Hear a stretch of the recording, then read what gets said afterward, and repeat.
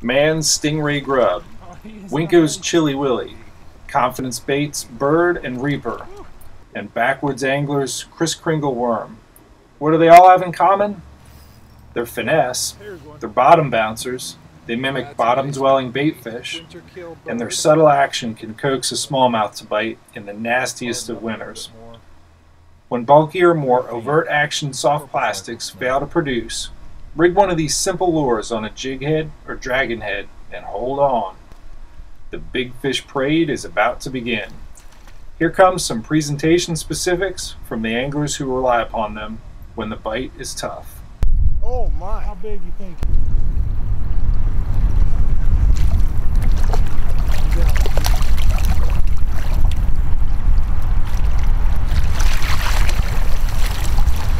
Very nice.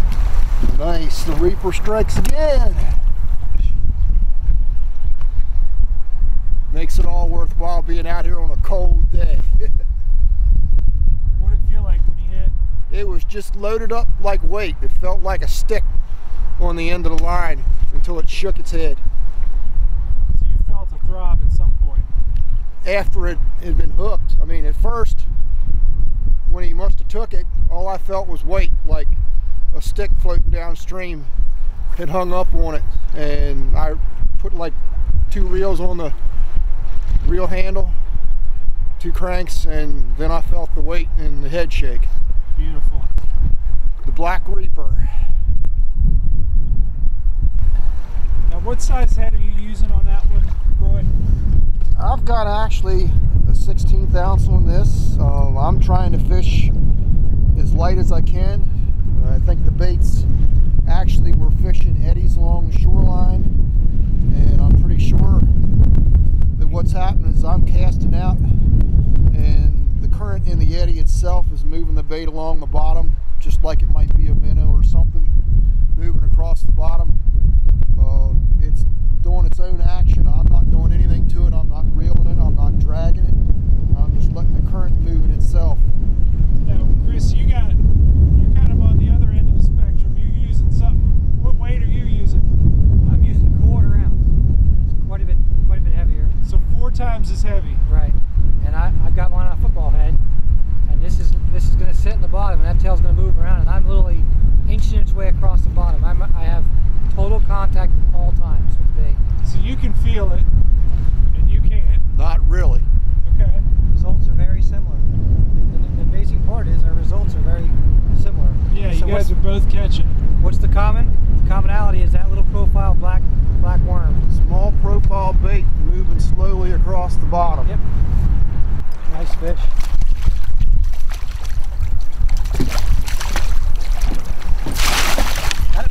Yeah. Sorry, cameraman. Oh, look at the.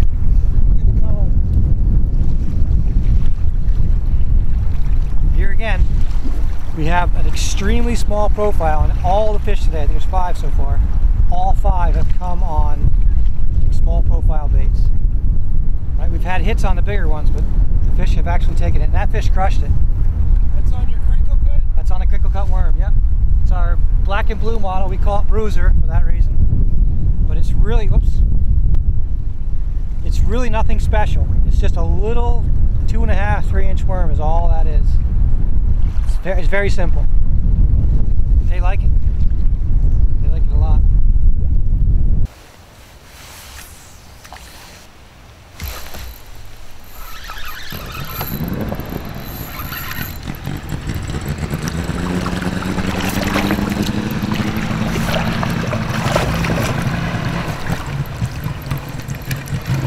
That's a bigger fish.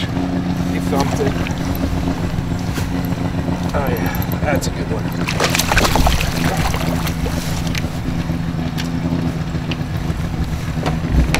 All right. That's a nice one on the winter kill bird. Sweet. Nice tall one. They are scavengers. I mean that that bird, that paddle-tail grub was just sitting on bottom and he picked it up. And typically this time of year you see a lot of those dead Uh, sometimes they're they're shad fry. Sometimes they're um, I don't know sculpins, but it's winter kill. It's it's minnows and darters and stuff that gets killed in the winter in the shock of you know um, it getting warm then cold, warm then cold. So he just scavenged up a little minnow for himself. 19 inches, four pound, three ounce. That's a nice one. Yeah. You guys doing any good? Nah. What are you using? Little paddle tail grubs. You want a couple? Yeah, you don't mind. I don't, I don't know what, I don't tell grub. I'll let him go. Give these guys a couple birds. How do you work? I just dead stick them. You just set them out there and let them sit. I'll bring you a few. All right, I'm rigging that winter kill bird on the, this is the eighth ounce dragon head. I'll rig up three or four of them for these guys and help them catch a couple.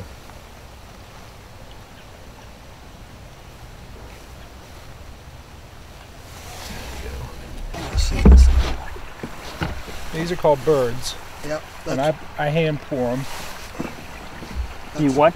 I hand pour them, and I pour the, the jig heads. The jig head's called a dragon head, and That's, they're his- they're real good for not snagging up. that's what Mike was using.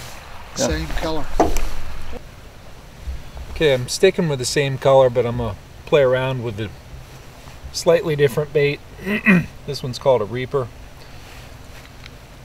Reaper's a thinner profile bait. Does real well in the uh, in the winter. This one's got ribs on it.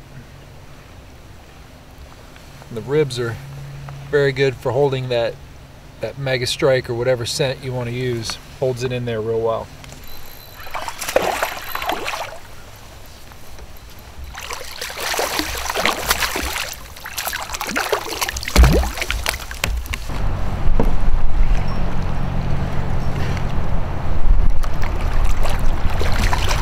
he is nice.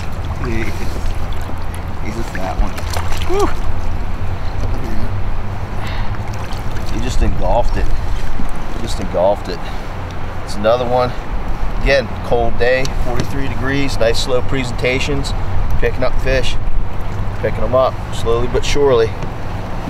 This one, I, I didn't even feel him. He was, the other fish I've been feeling had tapped the bait.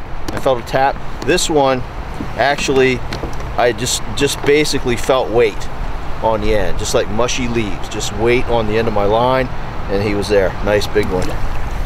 It's a Winko's Chili Willy made by Winko's Custom Lures. I've just started fishing this bait really about three weeks ago. Um, it's a, it's a uh, bait that imitates a minnow really. If you look at it, it's got a very flexible tail on it. And this flexible tail, even when the bait's at rest, provides action to the bait.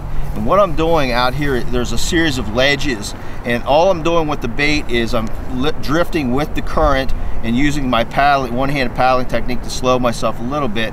And I'm actually dragging this bait over the ledges, and you can see it'll it'll rest on the ledge. The current will make the, the uh, tail move, but then I'm dragging it and letting it drop down into the ledge trench. When it's dropping down in the ledge trench, I'm just letting it sit. I'm letting it sit for 10, 15, 20 seconds.